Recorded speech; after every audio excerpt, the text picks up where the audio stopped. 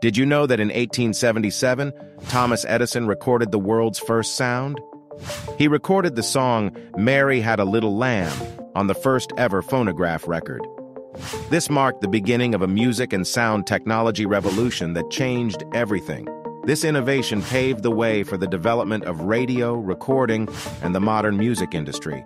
As Edison put it, success is 1% inspiration and 99% perspiration. It all started with the first sound recording, an unforgettable milestone in history.